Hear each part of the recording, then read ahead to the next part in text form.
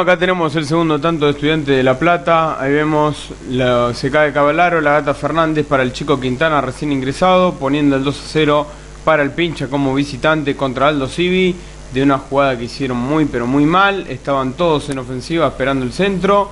Y después rápido la sacaron Cabalaro, Quintana, se cae Cabalaro, la gata Fernández viene de atrás, toca hacia el medio y gol del pibe Quintana, Aldo Civi 0, Estudiantes 2.